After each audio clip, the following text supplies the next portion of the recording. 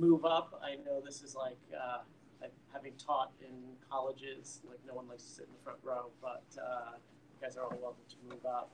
Uh, first of all, I'm super thankful for uh, fine folks at Fenwick for hosting us in this awesome space.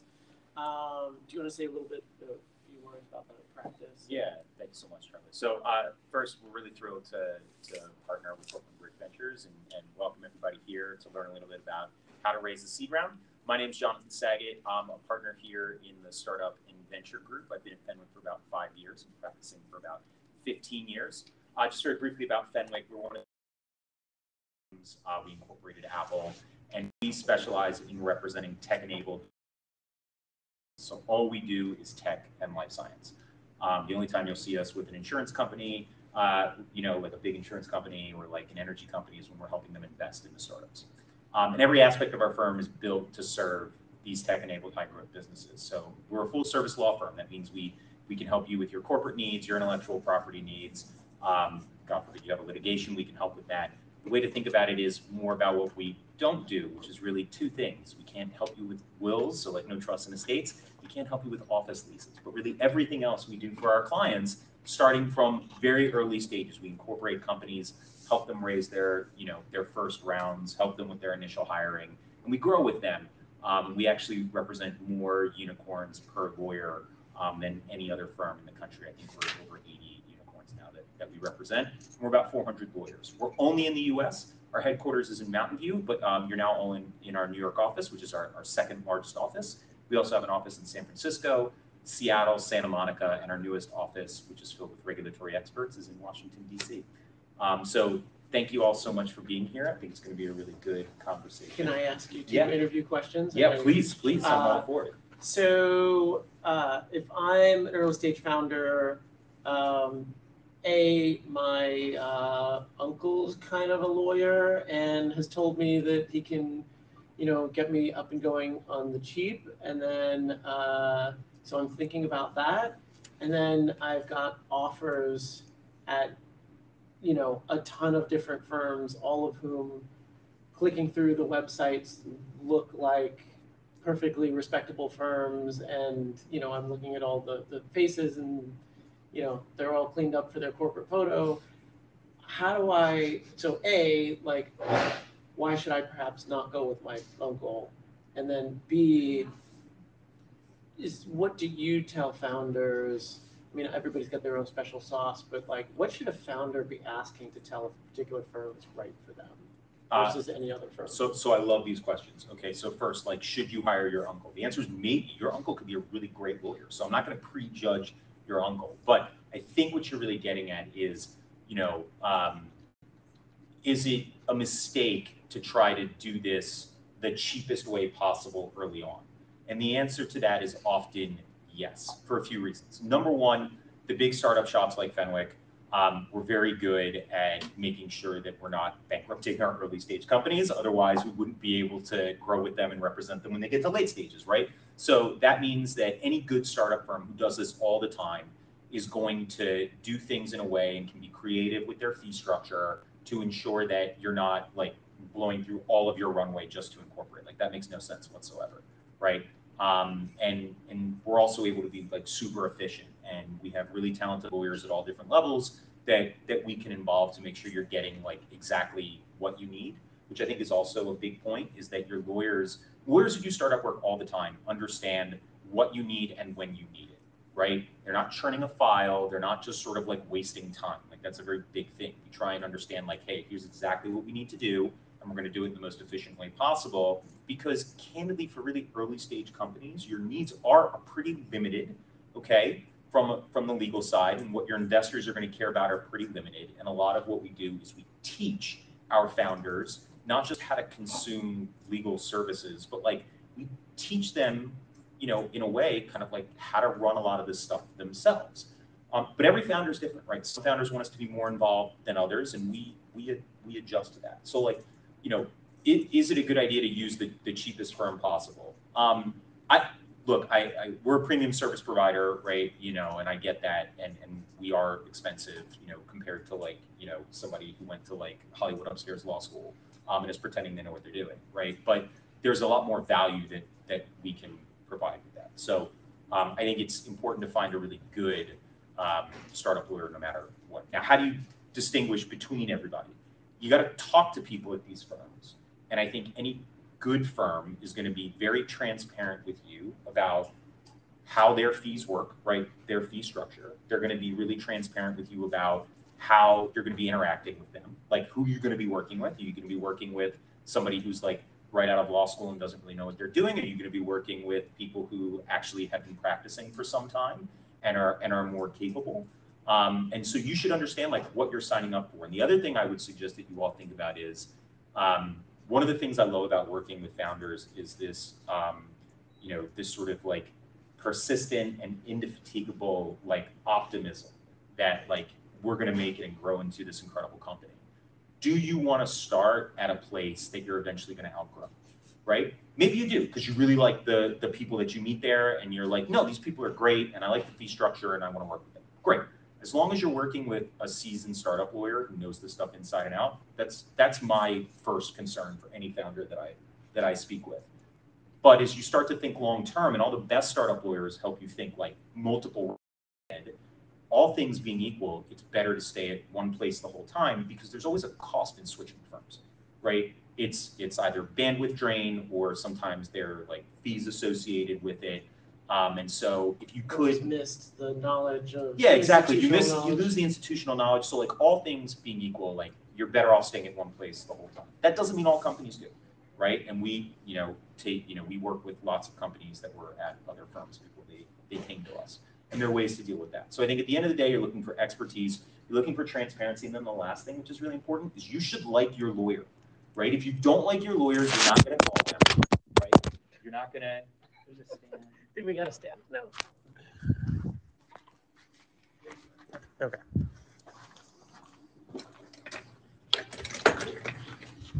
Fantastic. All right, now we're professional. Yes, great. Awesome. No, we're iterating. We're iterating. It's awesome. It's awesome. Great, okay. Um, so you know, like you got to make sure you like them. Like, do you want to talk to them? Because ultimately, if you don't like them, you're probably not going to trust them. And if you don't trust your lawyer, then what are we doing? Right? Like, that's the whole point. Cool. All right, that makes sense. Thanks, guys. Get to the panel. Okay, this cool. is the way more interesting stuff anyway. All right. Uh, Cool. Um, One thing I want to just acknowledge, point out, is that um, obviously not everybody goes into the fundraising process with the same perspective and experience. And so to that end, uh, we do try and uh, make sure our panels are coming from this process with uh, as much diversity across the panel as possible. Um, This is actually, I think, the first panel that we've done in a few years where we didn't necessarily get that same diversity. Um, and there's been a question asked around, you know, in this fundraising environment, is it affecting different groups of people differently? And so the sort of timing and I think optics of like, hey, like the, you know, a couple folks who happen to be free for, for this panel are, you know, a couple of dudes who kind of, you know, uh, uh, better looking, but kind of look like me. Um, and I, I will just say that uh, we did have a few people for whom the timing just did not work out. So it wasn't like we had uh, difficulty finding uh, diverse group of founders who had just raised and uh, um, wanted to participate, but just I think like leading into the July 4th weekend and the timing of it did not work out. So this was um, purely coincidence. All is not lost for um, uh, for different groups of founders. So I just wanted to make sure that was said. Yeah, no, thanks for calling it out. And I mean, I, I think one, you know, we emerged from our experience feeling like we definitely came from a position of privilege. And one of the questions we had was how different would this be if we didn't have the same privileges that we have? So yeah, I appreciate you, you calling it out. Cool. Definitely, definitely. So um, uh, let's let's do this in sort of chronological order here, um, and and we'll start out from the perspective of like there's an idea, and at some point the initial investment in the company is your time and the opportunity cost, right? So can you help folks uh, understand the process of like when was the initial idea before you took dollars around it, and and how did you decide that like this was either like a worth quitting my job or or asking some you know asking anybody for money and the opportunity cost and and you know, was this the sort of original idea? So why don't I don't know if I know this origin story. Maybe. Well, I guess it- in, I guess following the first question you asked me when we first met, which is tell me about your pivot. Uh, the original, original idea started, I guess, maybe two and a half years ago, slight, maybe three years ago, slightly before the pandemic. Um, and I had found myself, uh, amidst conversations with folks that I grew up with. Um, I grew up kind of east of New York City, Queens, Nassau County area um, and a number of my friends um, who ran small businesses. I run a lending infrastructure business. Uh, today, um, they had conveyed to me that they could not secure structured capital. Many of them were minority or immigrant business owners, and they were asking friends and family for money. Um, and I was somewhat bewildered in this behavior, and I was being asked to help them set up the deals. I had no background in this whatsoever, um, but I was just a trusted confidant uh, of, of these folks. Um, and I found myself in the middle between friends and family funding sources and also small business owners who had fantastic cash flow businesses. And I was thinking to myself, there's a massive disconnect in the lending economy. Um, there is you know, a dearth of fantastic small businesses that, for one reason or another, whether it's lack of credit or collateral, cannot secure financing. And this is a, a- an economic security issue, given that when half the small businesses in America ask those in their personal network for financing, um, those deals need to be sound and responsible, and that was the impetus for starting what is now, uh, you know, a lending SaaS business. Um, and so the original concept started about three years ago, but it took about seven months of just really concepting, talking to people, like seven months full time or like nights and weekends? it was. It started out like I would say first three months, nights and nights and weekends, and then I quit my job when I realized it was the middle of the pandemic. This is well before the vaccine. I didn't know if the world would ever be coming back. And as somebody in their mid 30s, I'm like, I'm just going to take my entire life savings, burn it. This is a write off. If there was ever a time to do this, let's let's do this. Um, and then it, it took about six months after I uh, really was working on this to feel confident enough to, or to even have a concept enough to need a dollar. Um, and that's when I, I mean, that's funny to hear you say like, if there was ever time to do this, you're like, oh, why don't I spend all my savings now? Because, you know, the world's going to hell in a handbasket. So, you know, some other people might come out that approach and say, oh, now's not the time to do anything risky. But you're like, hey, we don't even know if we're going to survive. and So I, I would say if you, Screw it, do a if, startup. if you know me, you would say that I'm extremely risk averse. Um, but I also think for me and some folks that are of similar age or, or background, I think the pandemic personally gave me an awareness of mortality Right. that I did not have before, where I was in and around folks who were very sick or passed away, and you just don't look at things fundamentally in the same way. And so that was what you know shifted my point of view. Gotcha. I appreciate that. What about you? Uh, so in some ways, I'll give maybe the opposite story to yours, which I think makes for a good, good unplanned, but makes for a good panel. Um, so um, I uh, spent the last ten years at my previous company and was starting to think about you know what I would do next. And in sort of going through that journey, I was both looking at I was interested in something that was very different. Um, and so thought about joining big tech, thought about joining early stage companies, and through that process reconnected with an old friend of mine who you know we worked together years ago he'd gone on to do a bunch of new things um, and he was going through kind of the same journey of thinking of doing uh, of, you know of, of what would be next and i think we both had this moment of like you know it is such a rare and delightful thing to have somebody who you know you love to work with um, and you know would, would have been on my short list of folks to start a company with you know what are the odds that those two people are, are looking for a job at the same time um, so we came first to the idea of working together um, and kind of reached an agreement that we would commit to doing something. And then the question was, what are we going to work on? And so over the course of a few months, we, you know, had had you know uh, had a, a you know a series of phone calls where we kind of brainstormed like what are the things that have a good you know why now? What are the things that have a good fit for us? What are the things that we think are interesting and make for, for good markets? Um, and then um, basically when we, we set a date when we would both start full time. And when we started full time, we, we were very careful to not really sort of dive into working on an idea until we started full time. But we started full time and then, you know, basically within a week, we kind of, you know, said like, by the end of this week, we need to make a call on what we're focusing on. We made that call in a week and then dove in from there. Just out of curiosity, um, there are folks that come at this, you know, especially uh, I think sometimes timing wise, coming out of like B school or whatever, where people like decide to be entrepreneurs first and then go in versus other folks whose whole life story is leading up to doing this one particular thing. Do you have any advice for people who come at it from the I want to be an entrepreneur first about like pitfalls in that process if you're not finding something organically that you would say uh, in terms of your decision process? Yeah, I mean, so our approach was to time box it. So we said to ourselves when we went full time, we actually gave ourselves a very excited, accelerated timeline. You know, we both both felt like if this isn't working, it's in our interest to fail very quickly.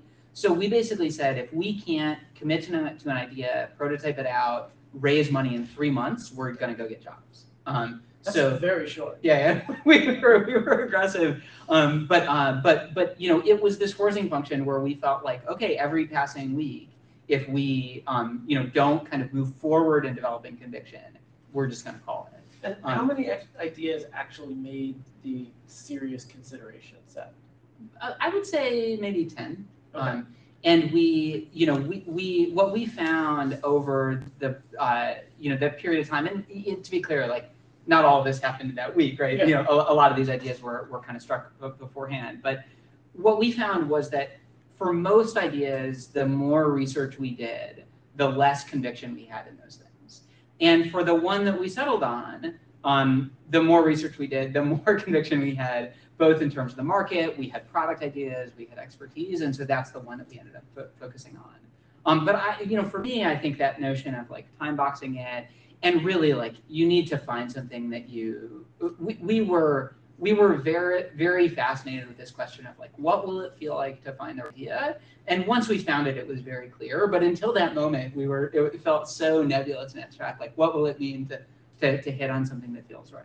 Gotcha. Okay, so you both hit on an idea, at least a problem set that you wanted to tackle. Now, at some point, you say, well, okay, um, if I'm going to do this, uh, you know, not being attached to some trust fund, like I'm probably going to need to raise some capital.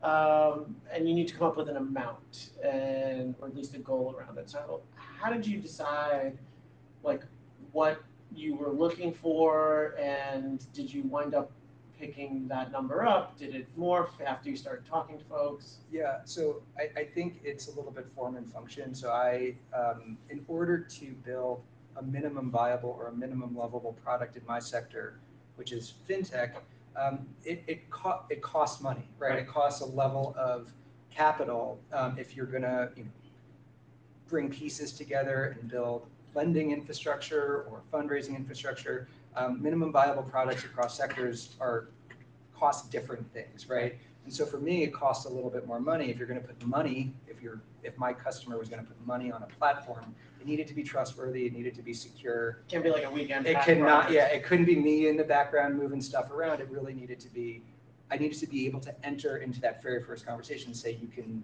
you can use this and feel good about it. And so, you know, in doing, you know, in doing the math of what would it take to get that first product up and running, that math really yielded an amount of like hundred and fifty thousand dollars. Um, and, you know, we were, and I was very lucky to have met a co-founder along the way after I had started uh, working on Ned. And I think for me, that number was, you know, uh, I guess workshop with a, a number of different kind of like engineering friends and costs and diligencing solution providers and things like that because we built on different types of API models. And so that was the number that we came to. And then it was actually after that uh, that we realized that we did it much cheaper. And so we actually found ourselves with like a little bit more money um, and in a position of a little bit more leverage of having a working product, which is when really uh, Forum Ventures found us at a pitch competition. And that was the first um, accelerator sizable check that we, you know, uh, that we took on, which, which really set us up with two hundred thousand dollars at that point, um, and you know a little bit of wind at our backs with a working, functioning system. It's sort of interesting how sectors wind up developing in terms of their maturity because, you know, you say, well, you, you know, you can't do something in the financial infrastructure side in a weekend hack project. But I remember getting one of the earliest Venmo requests from Andrew Kortina, and I'm hundred percent sure that was probably out of his personal bank account at the time, that there was sort of money moving. But that was at a time where like, there really were no fintech startups at all, and nobody had any you know, sort of nobody knew the right questions or all that sort of stuff. And I think what happens is like, if you're the first one doing something, no one knows what to ask, so you can kind of get away with it. Then everybody realizes what's going on and all the questions get asked and it becomes really expensive to do. And then if you're sort of after that, there's other things you can plug into, APIs and Stripe and Plaid and all of this sort of stuff that make it easier. And uh, the one thing to add in our case was, you know, we had to go against skepticism. So fundamentally, our user is a business owner that might feel disenfranchised or might have been turned down by uh, structured capital providers. And so, in order to even have a conversation with somebody who might have been fleeced in the past, uh, you need to be able to show them something in a way that it, it's it's a little even bulletproof in a sense um, before you even engage in that conversation. And we felt really strongly about that from day one. And you have to know your sector Yeah. too, right? That's gonna be true for your sector, for healthcare, for, you know, any number of things along those verticals. Whereas, you know, I don't know, maybe something like dating site, you'd just be like, oh, you know, I'll upload my photo, we'll see how it goes.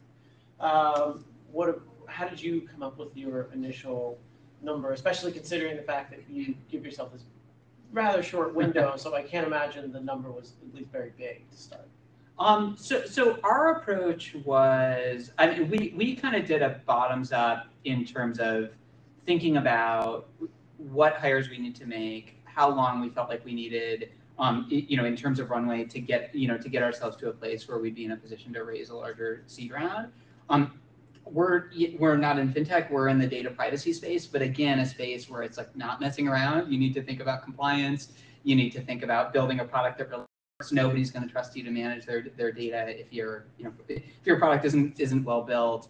Um, and, uh, and so we knew that we would need a healthy amount of, of, of runway to get there. So, so that was essentially the math. So we said, you know, in addition to co-founders, you know, who else do we think we'll need to hire? We focused, you know, raising a pre-seed entirely on technical hires, um, and felt like getting a kind of real robust, you know, V1 product out to market would be the milestone for us, you know, trying to graduate to seed. So we said, you know, if we want to make two technical hires, one front end focused, one back end focused, and we want to have, you know, 18 months, which is basically, you know, six months to build a product, six months to, you know, kind of get it out to market and to think about fundraising, and six months of buffer in case something goes wrong. Like then the math just says like what you know what is what is that what are those numbers net out to and that, that was kind of how we how we did the math. And, and you effectively raised that pre-seed round pre-product. Pre-product, Okay. yeah. I mean, we, we, and this, you know, to, to what we were saying at the beginning, I think definitely comes from, from a position of privilege for us. Um, but it's an area where we have a lot of expertise. I, I was, was the CTO at my previous job, responsible for data protection. Um, and so had a lot of knowledge and, and credibility in the space. My co-founder similarly had a, no, a lot of knowledge. And I think also the fact that we had worked together sort of uh, de-risked the team in some ways. Um, so we we found we were not sure what it would look like to go out and and raise, and found that um, some of those questions um, were um, somewhat assuaged by you know between us having a background together and a background in the industry. When you went out in that situation to try and raise, the actual pitch and the conversation and the narrative uh, of all of the things that you could sort of share, right? There's some people who would say, well, you know, I know they're going to be looking for traction, so I'm going to take whatever little thing I've done and try and make it seem like it's something. Versus other people who go in and say, no, we're just we're just free product. Like we're just this is what we are, Yeah. and we're not going to even talk about that. We're not going to sort of you know try and make excuses for it or whatever. Um, we're going to talk about us as a team, you know, and and we're just the right folks to back, or uh, we're going to talk about the problem, Mhm. and we're going to convince people there's a problem worth going after, and our solution is is the right one. And then you know, and then if they like that, then we'll go into why we're the team. What did you actually focus on in that pre-product pitch, and what do you think the initial folks who, who came in, what resonated? Yeah, really good question, and I could probably talk for for an hour, an hour about that. that shift, perhaps. Yeah, I mean, so, so I think, uh, yeah, a, a, a few takes on it. So, um, we, um, you know, to our credit or as a fall, um, try to be, you know, sort of, uh, you know, honest and transparent about where we're at, um, to the extreme in our pitches. So we definitely did not sort of, you know, show somebody the product and try to, you know, massage that into like, oh, somebody's, you know, we have this user, or, you know, put logos of just people who had given us feedback on in the deck. These people are really interested. Yeah, yeah, exactly. I mean, so we, we, you know, we quoted folks, but we were very clear, like, this is a person we interviewed. Um, what we dem, you know, I think what we spoke to was, first of all, this is a big idea. This is a growing space. Um, there's a lot of white space in the market. Second of all, the team, you know, it's a strong, well qualified team that works well together. And third, that we had done a, a lot of homework on the idea. You know, at the time that we raised, um, we probably had done, you know, 30 customer interviews um, and saying like, you know, we have very specific feedback from buyers in the market. Um, I, I think was, was also helpful. Um, I think one thing that we learned was that, um, you know, I, I think every pre-seed or seed focused uh, firm has some line on their website that says like, no company is too early.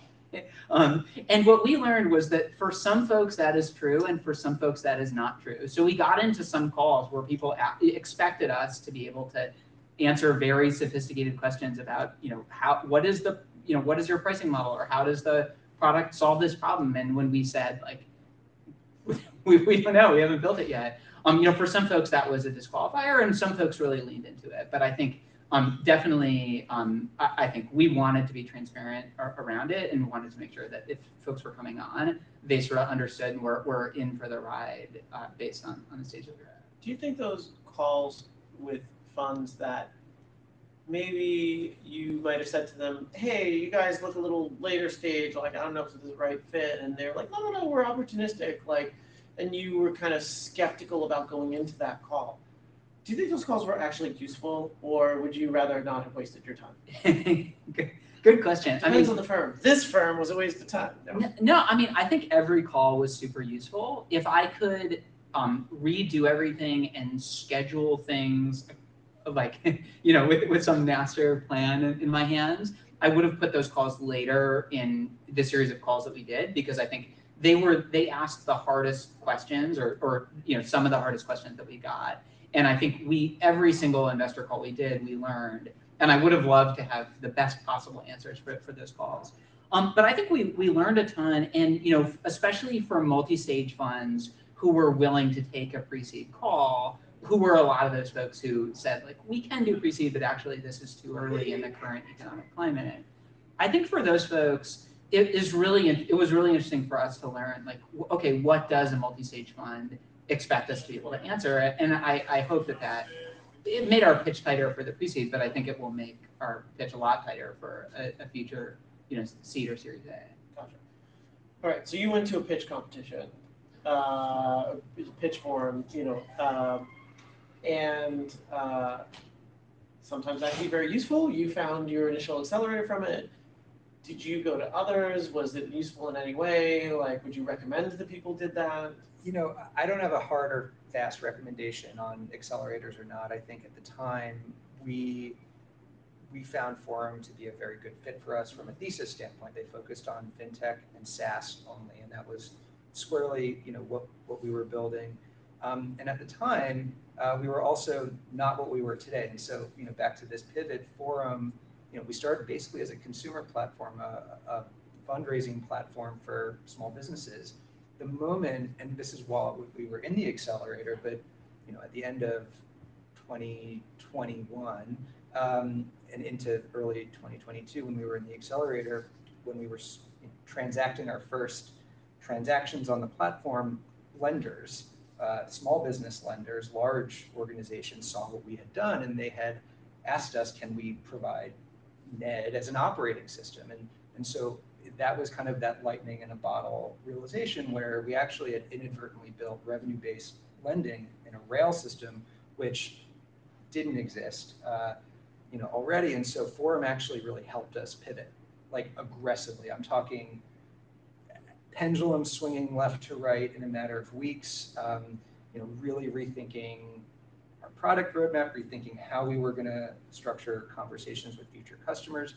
How are we going to take a learning of the last year and really apply it forward in a SaaS model? And so for us, I, I found them indispensable because we are where we are today with that support. I probably would not have been able to have navigated that moment um, without, frankly, professional help. I had never fundraised before. I was a first-time founder. Um, I had only operated mid-sized businesses, never like a you know an early-stage startup. So Forum was important, and then they, you know, with an accelerator, they have demo days and investor weeks, and their demo days were in the middle of May of last year. And so, in hearing World's greatest time. the world's greatest timing. And so we had a spectacular failure um, the first time we, we went out and attempted to raise for all of the right reasons that we should have failed. We had just recently pivoted. We were put out without a really understanding of who we were as a company yet. We had some great like potential customers. We had a great technology, but there was nothing concrete there. And I think thankfully we went through the motions and did not get anything. I mean, it, it turned out well because it allowed for us to have early conversations with like 80 investors who passed, but many of whom we're still in touch with now um, and are tracking us. And I think like, you know, had we not gone through that experience, we wouldn't have had an opportunity to frankly build relationships, Right. which is the most, I, I do think is the most So important. you went over in the demo day. What's that? So you went over. Oh, all of them went, oh, everybody. Yeah. And this is in the middle of May, like three weeks before. And I didn't feel comfortable going into it even raising any money at all because at the time, the news cycle was inflation is coming. There was rumblings of, you know, economic turmoil uh, just on the horizon. I'm like, this is just going to be a disaster. Everybody didn't really, nobody around me really felt similarly. And lo and behold, it was a, a- an absolute, you know, pumping of the brakes. I think all of the VCs that we spoke to, regardless of stage, were like, we're just kind of waiting and seeing. We'll talk to you in a couple months. We'll see what happens after the economy stabilizes. And so, yeah, we totally went over. And after that, like, I had a really strong point of view that investors aside for the second, let's go get contracts, let's go get revenue. This has to be an operation that's like worth funding. And that's really what we doubled down on after that. So how long after that point did you go back into the fundraising process? Was, did you set a target of like, if we get three customers, then I'll go back, or was it time? It was actually a little bit more organic. Uh, we didn't have like a, a structure around time. Investors that we had met the first time around, um, really over the five months after that into like October following that May, investors that we had met, um, you know, tr- tracked us and they, you know, we had been communicating that we were closing first contract, second contract. We had real customers, actual real things to talk about, not just conjecture. And that was when we progressively were in a position to accept checks. And so we did not have a structured, properly structured round. It was, you know, there were certain investor investors that um, we felt were aligned with us as as, pe- as people, as a business, and you know, they liked what we were proving out. And you know, one check begot the next check, you know, a month after that. And so it was little by little that we proved ourselves out, which ultimately kind of snowballed at the beginning of, of this year. But it was a step by step process for us. And um, one of the things I was gonna follow up and ask about, just, I'm just drawing on now. Um, oh, uh, the initial checks uh, that were coming in, were they individuals or small funds or? These were small, uh, I would call them pre seed smaller funds. Gotcha. Yeah. And did they ask about a lead or total round size or who else is closing and why am I the only hundred K check in this? And No, um, quite the opposite, which is kind of why I, I'm forever indebted to them and love them, you know, truly, because uh, different from other, all of the other conversations that are looking for a signal that somebody else with potentially more brain power than them is, you know, saying yes. These people took a flyer on us and they said, we don't care if there's a structure around this round. I'm gonna give you this check at this time. You don't need to have any other investor. Um, and for us, that frankly just let us keep building. Like we wouldn't have, we wouldn't have survived without that. And so it was that level of conviction, that ability to just say yes, agnostic of what everybody else is saying that, you know, brought us together. Did you talk to anybody else during that period of time who did sort of want a bigger round? Everybody. Oh, everybody, right. Yeah, every, yeah. And, and it, and it- and so there were two investors, uh, Hustle Fund and, uh, now Everywhere, uh, Ventures. Um, they, Hustle, Formerly the fund. formerly the fund, uh, Hustle Fund wrote a small check, um, followed by Everywhere Ventures probably six weeks later. And actually, they came together later, months later, and they said, actually, Ned is proving ground. Uh, let's come together and, and co-lead. And so it was actually after working with them a little bit that they felt that they could really support us with that lead indicator, um, which was very helpful for us. Gotcha. And so what was the nature of your initial first few checks in? Did you have a specific lead or is it just you set the terms? and- Yeah, good, good question. So, um, to, yeah, uh, give a slightly verbose answer to, to that. So, w- the, the way, our, our fundraising process did not go quite the way that we expected it to. Um, I don't know if it, ever does. Um, but we had, you know, a bunch of conversations with folks who were potential angels, a bunch of kind of just warm, kind of get to know you conversations with investors before we were raising, where we were just meeting folks, learning about how they invested, what their processes look like, and whatnot. Um, and at the same time, we applied for an accelerator that we weren't expecting to get. Um, we uh, got the good news that we got it. Um, and so we had a term sheet in front of us. Um, but with one term sheet, we weren't really sure. Like in this market, everybody is talking, you know, especially this is, you know, I think late Q1 of this year. Um, you know, are, are these good terms? Are these bad terms? You know, what, what does it look like? What could we get? And so we were very uncomfortable with the idea of passing on it without other terms out there, but also uncomfortable with the idea of signing it without knowing what we could, you know, what, what we could get on the market. Um, so basically, we used that to catalyze the round. So we went out to everybody that we've talked to and said, you know, hey, we have this term sheet. It explodes, you know, n days. An accelerator term sheet. Yeah, an accelerator term sheet. Um, it explodes in, you know, in, in a, in a week or so. Um, we're thinking about whether to take it, but we're not sure kind of, you know, uh, what folks think or what we could get. Um, you know, can you, you know, can you consider us? And if, if so, you know, what's your process? We had some folks say like, no, we can't move that fast. You know, um, would love to stay in touch. Um, and we had some folks say like, yeah, we can. Let's let you know, let let's have you all in for a more formal meeting. And some of those, well, some of some of those didn't. But basically, we used that to catalyze, and that got us to our first um, institutional term sheet, um, which was was led by uh, Box Group. Um, and once Box Group uh, gave us a yes, I think it made it a lot easier for other folks to get to a decision. Um, easier for other folks to, to get to a, a yes also. Um, so we also um, uh, got a yes from uh, 12 um, which we uh, which which we uh, went with, and then we we rounded out the round with angels. So we kind of did the opposite of what I think might be typical, where we focus on locking in institutionals and then move to angels. That was not our plan at all. You know, before we got this accelerator term sheet, we thought we would you know close some angels, use that to to generate momentum. Clo- you know, use that to spin up a larger round. But because of this accelerator term sheet, we use that as kind of the catalyst instead. What, uh, what was the connection to, did you know the folks at Box beforehand? Like, how did you actually connect to the person who actually gave you the term sheet? we were actually introduced to them by another VC who ultimately passed, which was was interesting. But Which um, people always say is the worst kind of introduction. well, they hadn't passed at the time of the Okay. introduction. but yeah, when they we got the the no from the person who made the introduction before we got the yes from Box Group, and we weren't sure, you know, what does this mean, you know, for, Yeah, you, this you relationship. you But- assumed that that was gonna tank the Yeah. intro. yeah. Um, but the person who made the introduction was from a multi-stage fund. Box Group is, is very focused on early stage. So I, I think it was it was the right fit for them and and you know we're we're incredibly thankful for for them you know being willing to kind of be the first folks to take the lead. Um, and I think for the multi-stage folks it was just a little bit a little bit early. Gotcha. Yeah.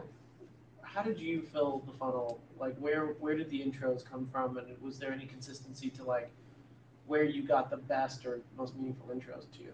Uh, I mean, it, it, when you look at the R funnel, I think the, the, the early kind of, you know, uh, starting gunshot was the forum demo day. So that put us in front of probably 30 different investors. And I think to what you described, we actually experienced kind of a, you know, a handoff. Certain investors would intro us around. And then separately, I think like there's nothing frankly regimented about this, which is we just begged, borrowed, and steal like every favor anybody that I knew who knew somebody else. Like we really just kind of went after it with a crowbar and started just bashing in taillights to get in front of certain folks. And it wasn't clean, right? There's nothing clean about it.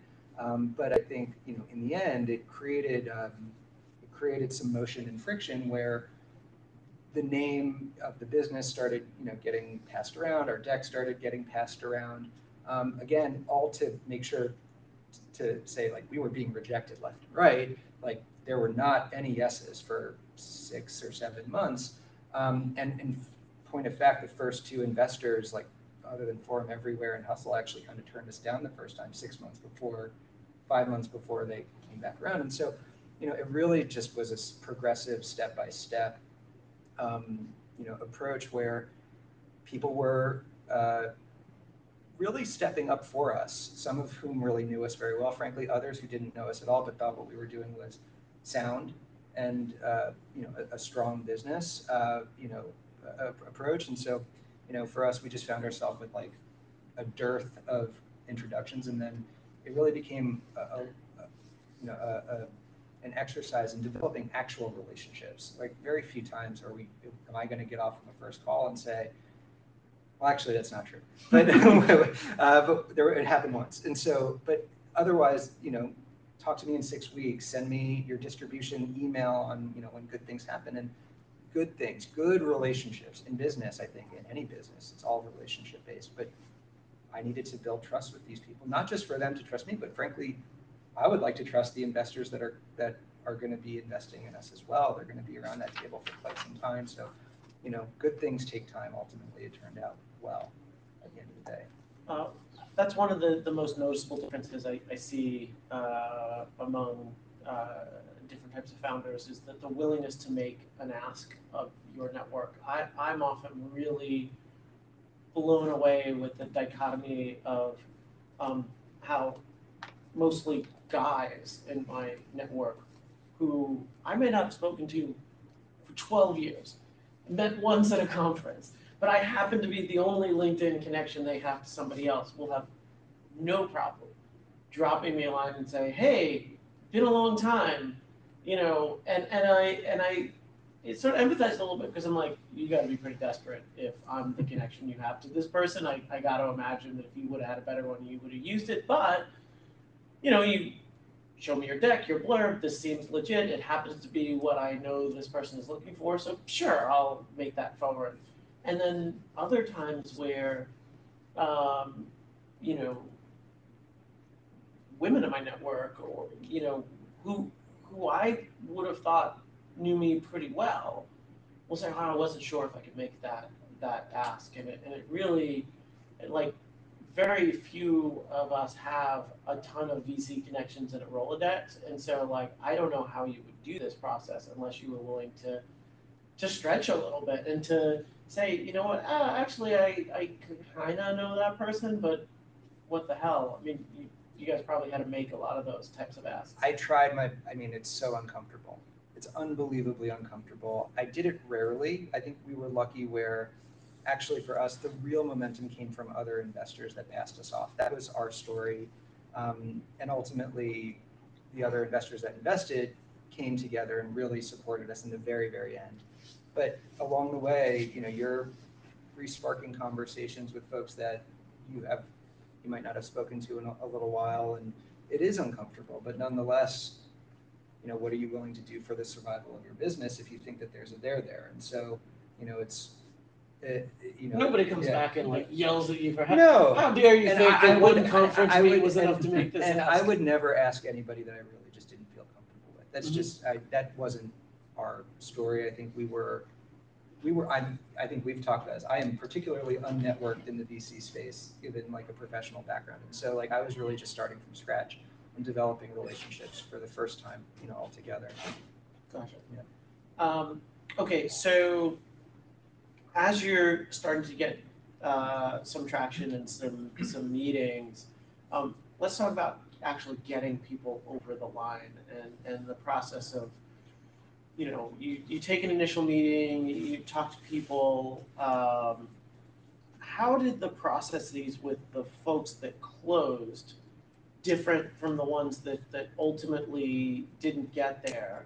And, and was there anything that you did to sort of, you know, uh, bring those folks over the line or just make that process more efficient? Or was it inefficient and you want to talk about how maybe you wasted time with people that didn't get there? That's a good question. Um, I'm thinking about it off the, I mean, I, I think that actually our process was fairly similar for the folks who closed and didn't close. Um, you know, of course, there were more steps for the folks who closed because we kept moving forward in, in their funnel. But I think they were pretty similar. I mean, and the typical steps were, you know, an intro coffee or Zoom, depending on whether folks were, were you know, based in New York or not. Um, maybe a second one. Um, then, you know, an individual meeting with, um, you, you know, with, with, with a with a partner um, and then you know a larger group of you know okay this is this is going to be the real presentation. Then maybe another follow-up or two from there that were shorter and they wanted to ask deeper questions and then a yes or a no. So i would say that yeah i think the processes were similar. I think we got better at running those meetings um, but i don't think they looked that way? different. Um, we I think being able to anticipate questions that folks were going to ask and speak to. So to, to give you a, a, practical example, so both my co-founder and I are fairly technical. I um, you know come from a, a computer science background, and my co-founder comes from a product background. Um, we both think of ourselves as very um, business astute, but um, it didn't really occur to us that if you looked at our resumes or, or you looked at our deck, you would come away with this question of like, who's actually going to try to do sales? Who's going to try to, you know, make sure that the business is, is, you know, being financially, you know, responsible and whatnot. Um, and then that would be an open question, and people might leave the room having never um, even asked us that. But that that might be, you know, uh, a, a, a question to come away with. And so as we started to realize that that was a question folks had, we made a point of early in our pitch, kind of trying to speak to that. Um, so I think that's probably the most concrete example I can think of. But just learning like what are the questions people are going to be asking, how can we demonstrate expertise of that before it even becomes an open question in the in the room. Gotcha.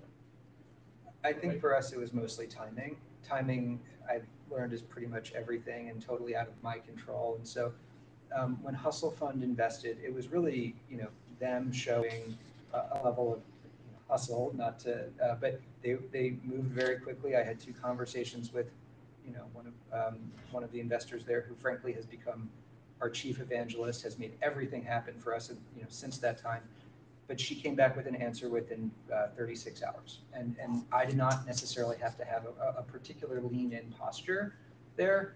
Um, and then with Everywhere Ventures, it was the very end of last year. And so the end of December, I think there was a level of kind of the year's closing out. We have one investment left.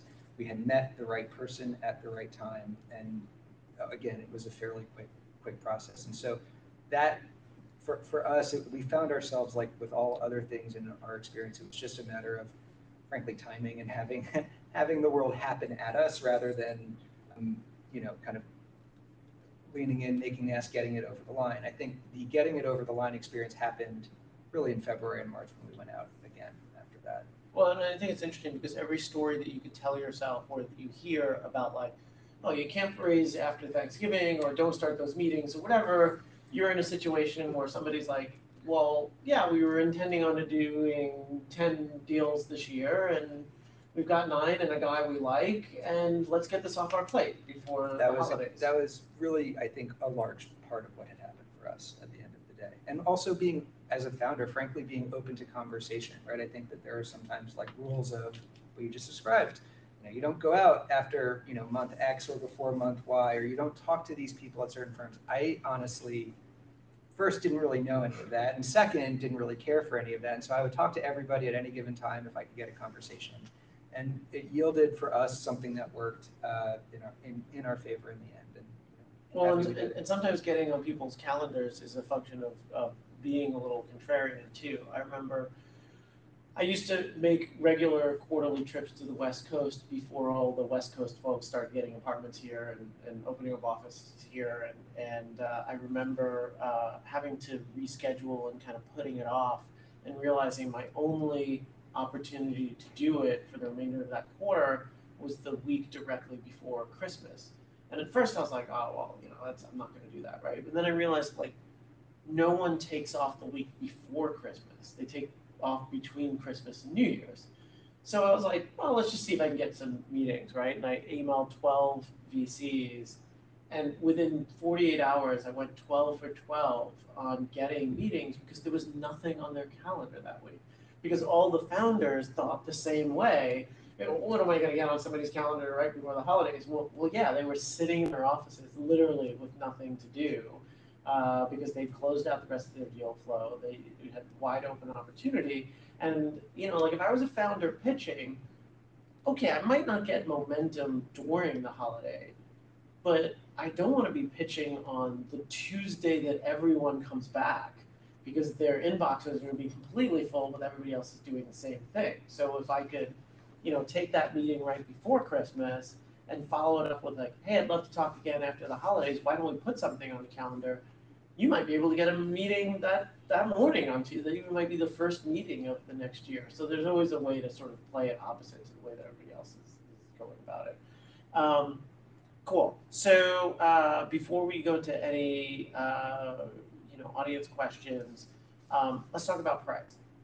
So the thing I always tell founders is. Um, I'm incentivized to buy as much of the company as possible. You are incentivized to sell as little of the company as possible.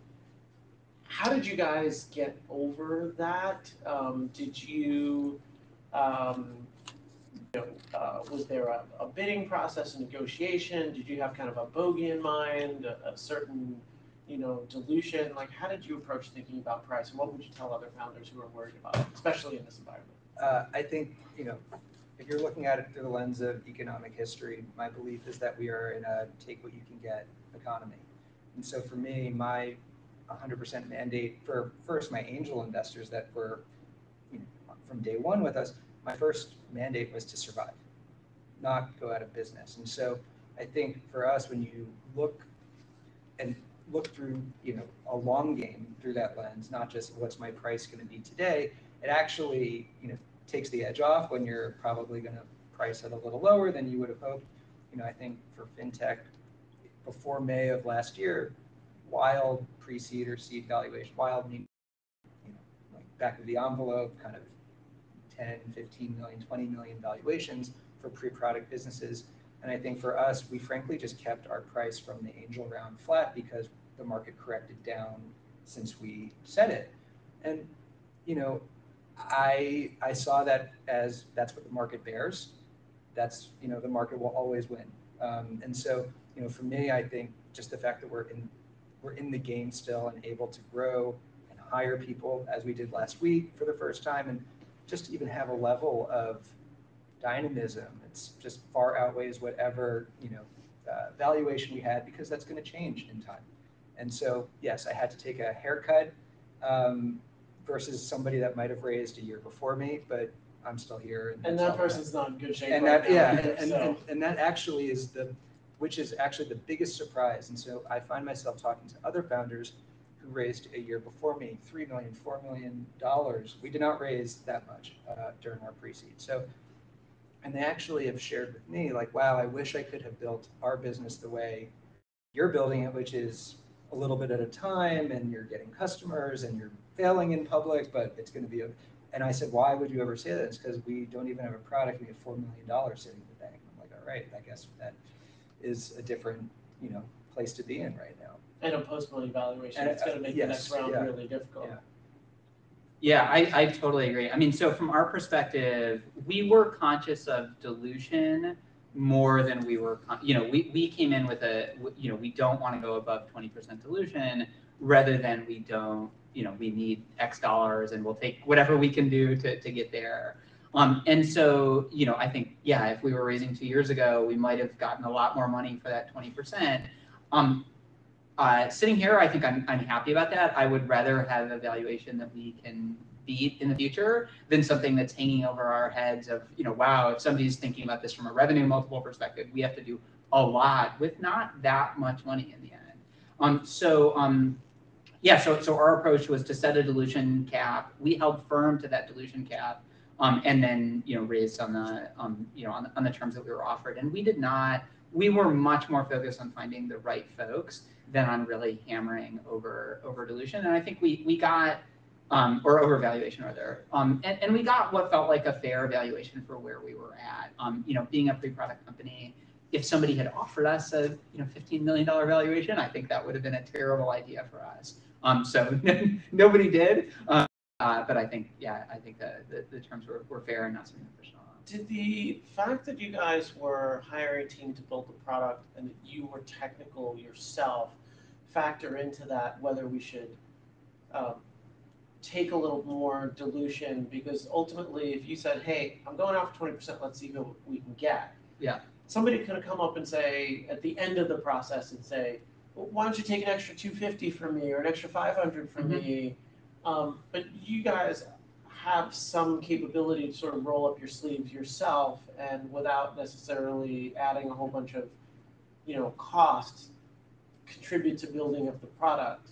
If you had to hire your whole team, Yeah. would you have maybe felt a little bit differently about having a little extra money? Uh, I, yeah, I think definitely. And, and that was actually a comment that we got from one of our, our VCs who, who came on board, said one of the things that they, that made them more comfortable about us as a team is it's a lot easier to, you know, get through those early stages if you can build the product yourself, right? We can validate ourselves. Um, and we're just starting to hire now, but we've been, you know, building software for, you know, for a, a few months at this point, and we've been able to do that on, our own. So doing that with, um, yeah, I think we would have wanted more money and probably um, gotten a little bit more skepticism if we were, if both of us were non-technical and we, you know, we couldn't build a product without bringing on. And, and I think that probably works in this environment. Being able to build a product yourself and sort of extend that runway a little bit to do more stuff because you can contribute as founders.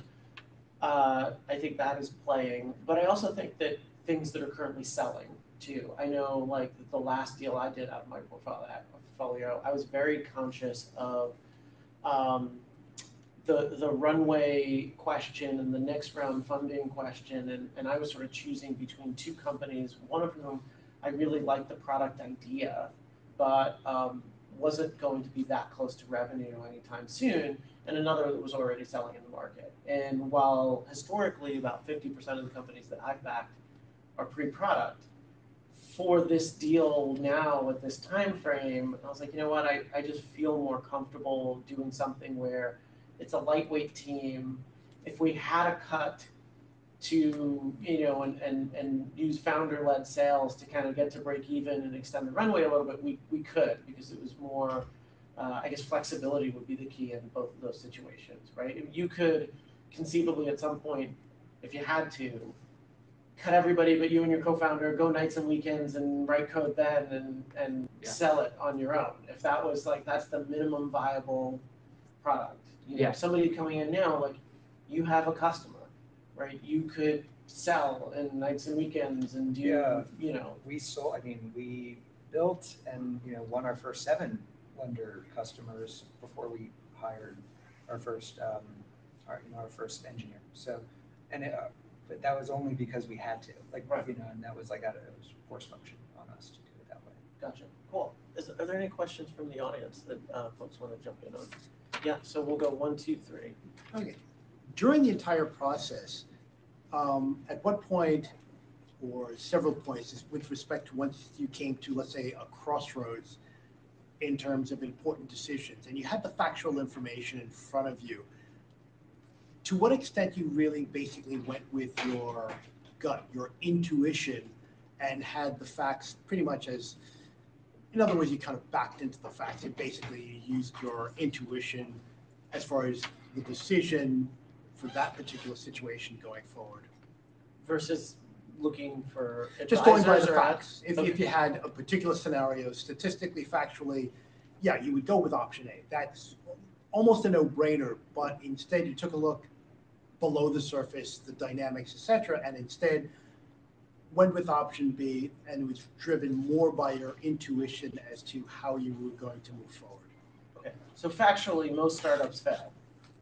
But you guys had the intuition that maybe your startup would not. Are there any other things that, Yeah, I think it, you know, uh, there was a point last August where it was basically give or take, might not, you know, uh, be around the next week, just given the level of funding, given the level of just feeling demoralized from, you know, a, a failed uh, funding experience, fundraising experience the first time, where it was really uh, uh, driven by intuition, a gut instinct. Like there were really fairly few facts in our favor other than what I believed, which was just the economic thesis, where the economy was heading, where we fit into the economy, and the fact that we had a customer, a singular customer at that time.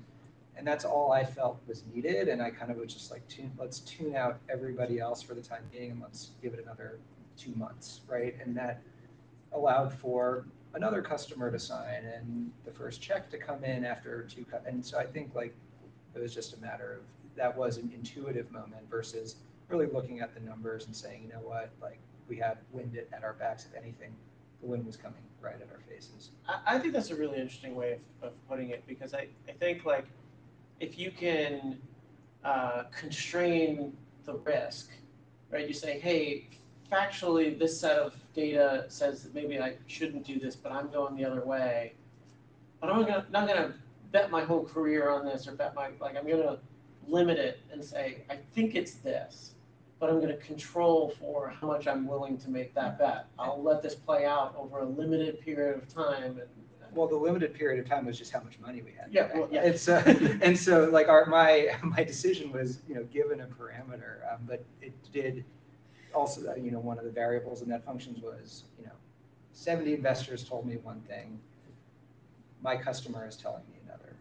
That's basically like the, the weight that I went with, You're paying customers. my paying customer. Yeah, that's important.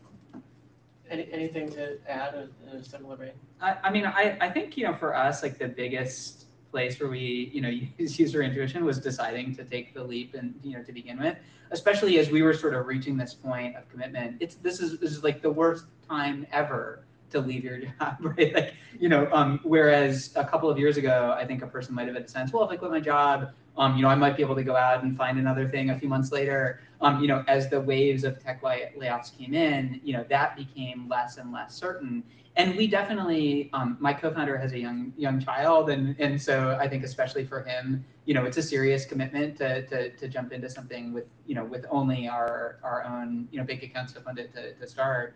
Um, and so we had this moment, you know, late last year where we said, you know, if we're gonna jump in, you know, is this really the right time? Like, you know, and we decided to do it, but I think that was a moment where I think, you know, the pure sort of like dollars and cents of it would say like, you know, that now is not the time, you know, wait, wait a year. I'm, I'm very happy that we did, but I, I think that was the, the, probably the, the biggest in, intuitive moment. Cool. I thought it was a hint. But, go ahead. Okay, yeah, I have a question for Josh and Dave. Um, are you familiar with the joke for Bill Gates' daughter? Okay, so um, I told my son you will marry the girl I choose. And he said no. I told him she's Bill Gates' daughter. He said okay. I called Bill Gates and I said I want your daughter to marry my son. Bill Gates said no. I told Bill Gates my son is CEO of World Bank. Bill Gates said okay. I called the president of World Bank and asked him to make my son the CEO. He said no. I told him my son is Bill Gates' son-in-law. He said okay. So you get the idea. I was just wondering, uh, did you guys have any kind of uh, this implemented in your fundraising strategy? The, the fake, a roundabout way of getting to the fake it till you make it, uh, question. Uh, yeah, were there any points at which you, you know, could get there, but maybe you weren't, and, or, any, you know, ethical questions along those lines? Good, good question, and I, I, I like the, I like the, the, the joke. Um, we didn't. I mean, we tried to be super transparent in our in our process. Um, so I, I think for us, like that's kind of the company that we want to run. We want to work with investors who prize that, and you know, and I think there is like a sort of startup hustle, hustle culture, which we like intentionally d- do not want, of kind of like this fake it till you make it thing. So I think that was a values judgment for us. There's nothing I, I think you know wrong uh, off the cuff about doing it, but I think for, for us, like yeah, it was it was an important value call to to, to be be transparent. Yeah, I would agree. I think if anything, we were overly truthful in what we had or did not have.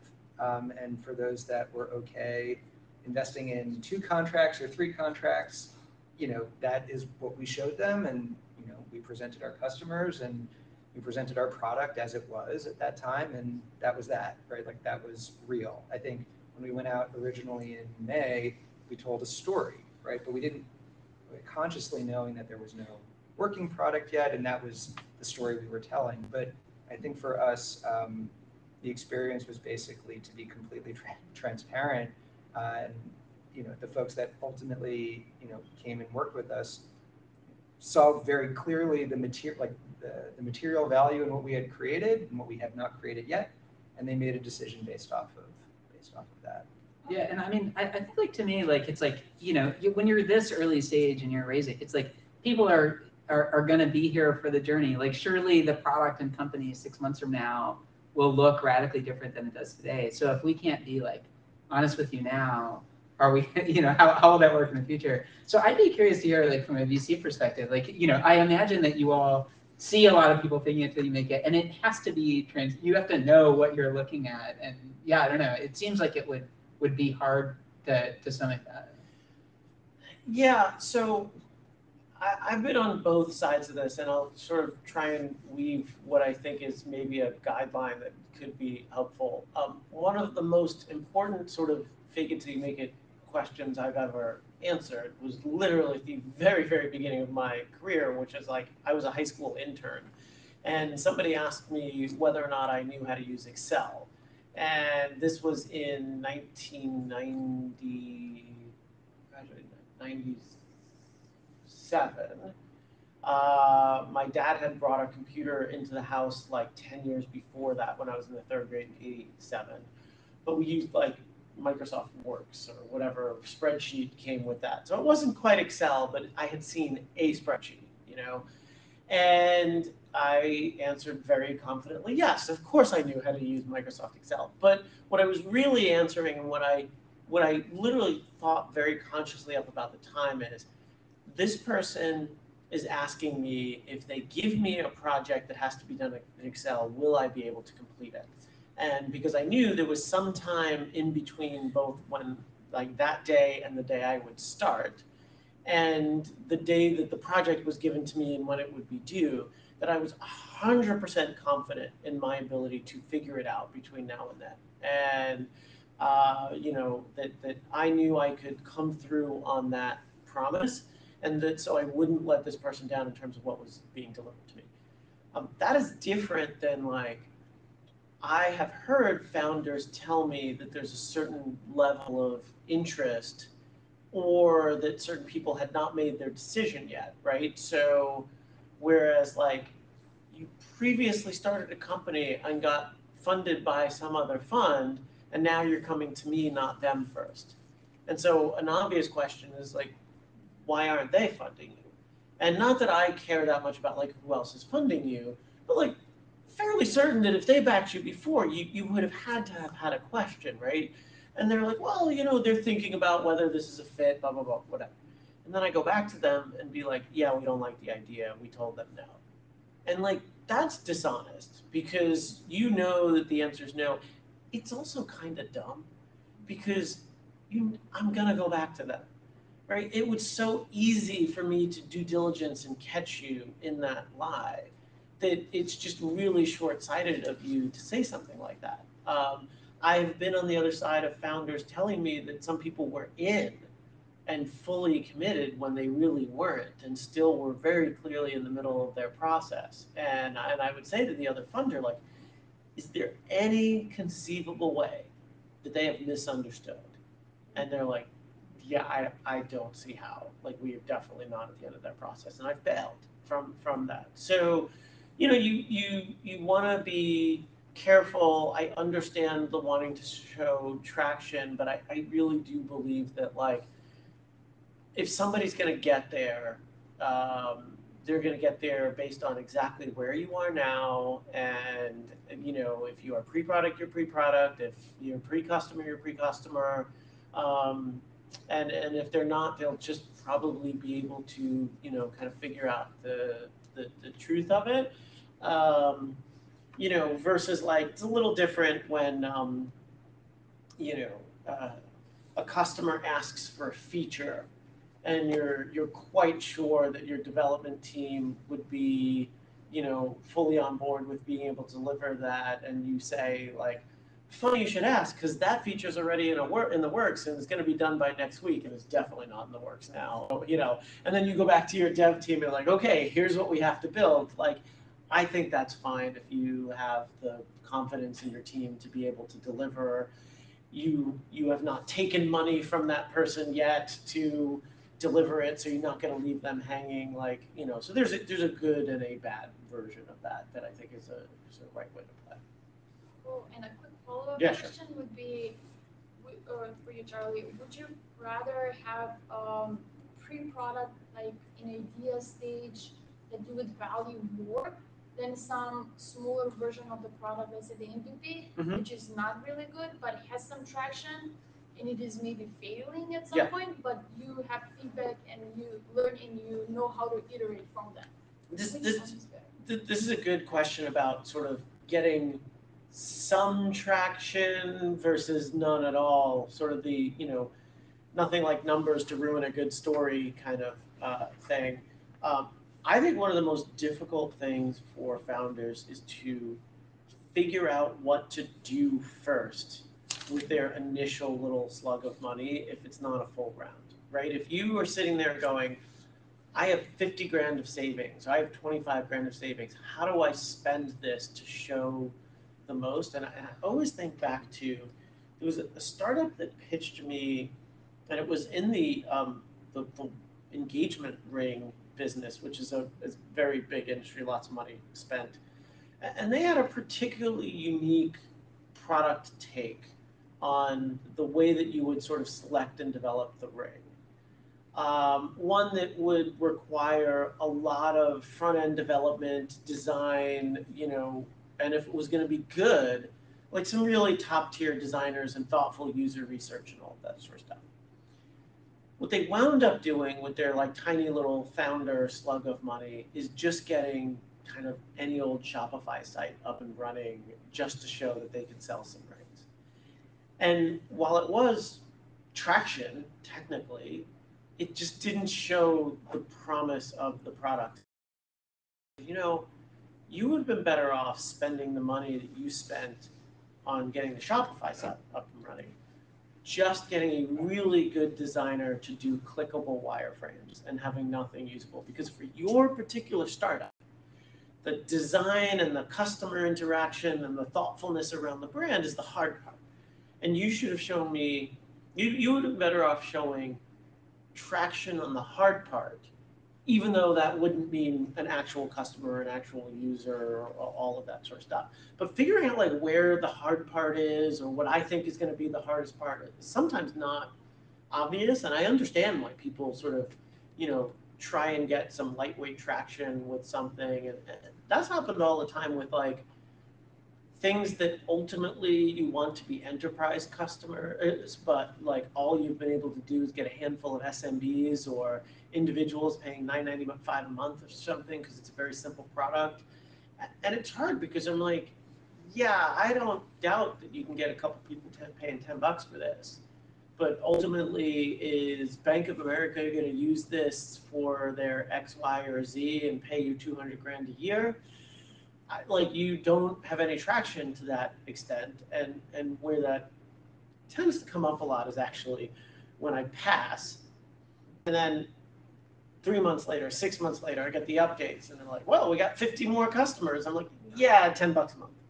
And i my my pass was because i didn't think that somebody bigger would sign up and you still don't have like so yes you technically have traction but you don't have any traction against what i perceive as the hard part of this thing. I the thing i said you couldn't do and you told me all the things you did in the meantime except any movement on the one thing i said you couldn't do.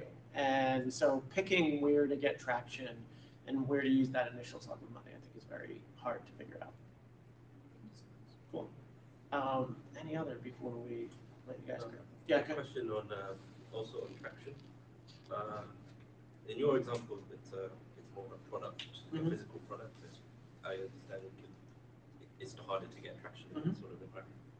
Um, In, for software companies, would you recommend, I see a lot of stuff where people are recommending no-code solutions and whatnot. Do you recommend to just, if you do have a if you have found a a small slug of cash, Right. that they go off and just do like a no-code Yeah. thing? Yeah, I, I think if look if if the for example if the hard thing is sales, right? And and you know for example like um, I backed a company called Nokin, which is my most you know my saddest sort of COVID casualty because it was in the the travel space. Uh, I took two trips on Nokin. They were amazing, amazing experiences it, it was literally you, you you showed up you answered like three questions about what your travel what kind of a traveler you were and they'd be like great here's your whole itinerary and your trip to iceland and they'd also set you up with a concierge. It was it was awesome. I, I really Sounds- wish they would like go back and do it again. it. Was it was so great. But like the tough thing in the travel space is customer acquisition and sales right? Because it's a fairly big buy you know travel is expensive and and it is um, uh, highly sought after keywords and, and all of this sort of stuff.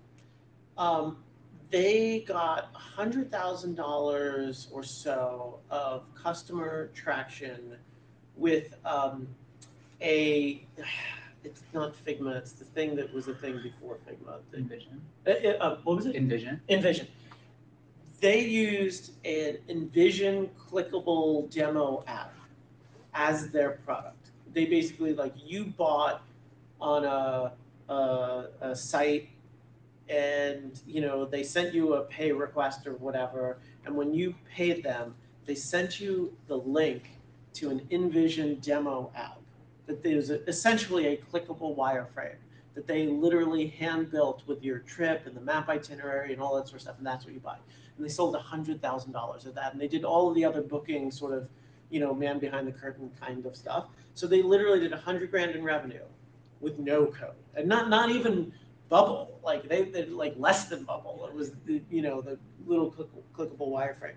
And like that to me was a signal of two things. And first of all like clearly you proved that the customer wanted this thing right? And and you can acquire and sell customers. So that was great. Um, all of the the actual app stuff while it certainly would have been better if it was actually built none of it was so technically difficult that I didn't think they would be able to build it if they actually got a developer on, you know, versus like a security and privacy related thing, like you, you kind of need to show that you can sort of build that.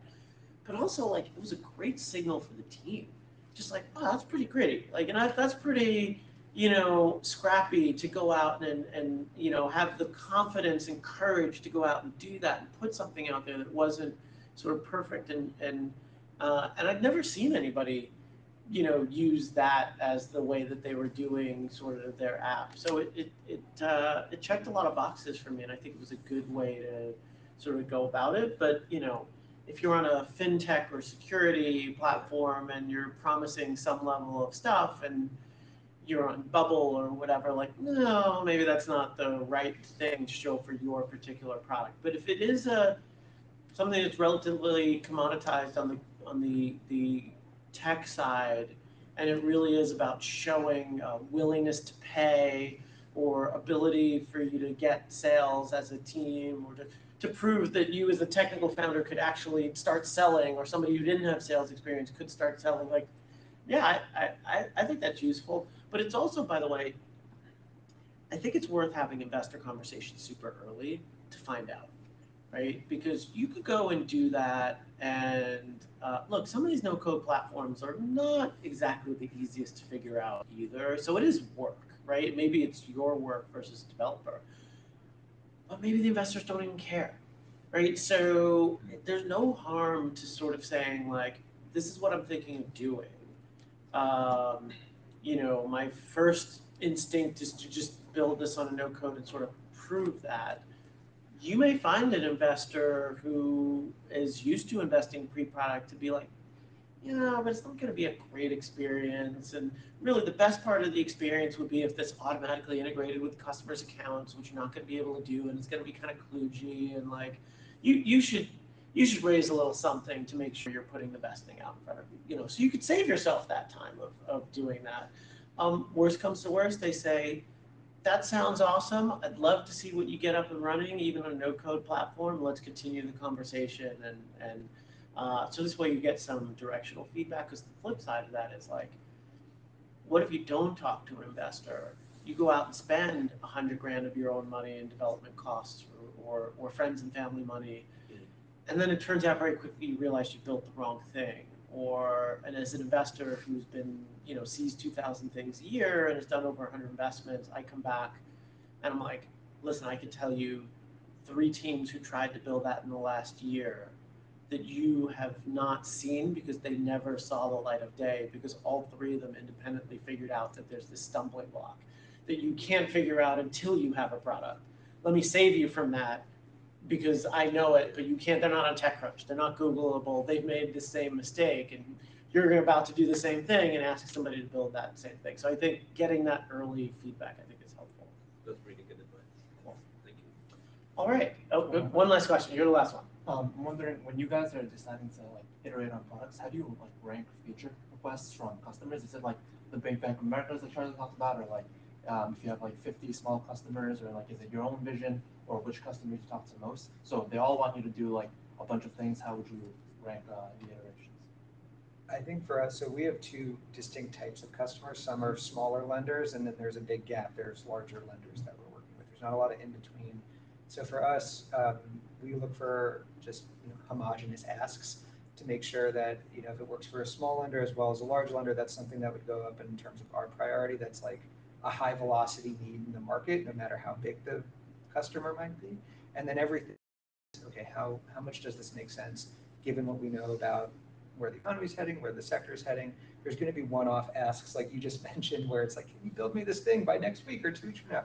And that is more of a that, that's a dance, right? Because in many cases, there are certain times we've been faced with that where we want to say yes, but ultimately we know that, that it will not be used by customers. And so I think it's a it's a matter of not just value in terms of like the money you get from features, it's how long of a tail will that feature have in attracting new customers that are similar to the ones that you're currently you know working with right now. Um, yeah, and, and on our end, I mean, we're an enterprise sale, so especially on our road to seed, we expect, you know, a small number of customers, but you know that will eventually convert at a pretty high dollar amount. So we're we don't for the next couple of years, we're not going to be in a position where we have you know 200 customers, each of us giving us different demands. So as we're out there doing research right now, um, you know, the folks who we're listening to the most are folks where there's sort of mission alignment where the things that they're talking about are the problems that we're trying to solve. Um, and then there's ideal customer profile alignment where they are the sort of people who we want to target for our V1 of our product. So those are the folks that we listen to. If somebody is outside of our ICP or um, you know asking us for things that are way outside of what we're trying to do, we jot those down but save them for later. Um, and then in terms of who we're actually prioritizing building for, you know, our approach to the next phase of the business is getting a couple of design partners on, on board. So folks who are enough mission aligned that they're willing to take the leap to sign up to a product that is just being built. Um, and the commitment from our end is like, if you're willing to take that leap with us, we will build something that works for you. For the, so for those folks, as long as their ask is mission aligned, we'll build it. But we need to keep that list of customers small enough that we can actually deliver on that with you know just a couple of folks coding thank you guys for taking the time out so much. Uh, so much, I really, really appreciate it. And uh, thank you guys all for coming. Uh, please do grab some food on the way out. Um, I don't want to see that go to waste. And uh, yeah, we will uh, be doing these things. I think our next one of these will be in September. Uh, probably not so close to holiday weekend next time. But thanks so much. Thank you. Thank you. Thank you. Yeah. I'm glad they came through.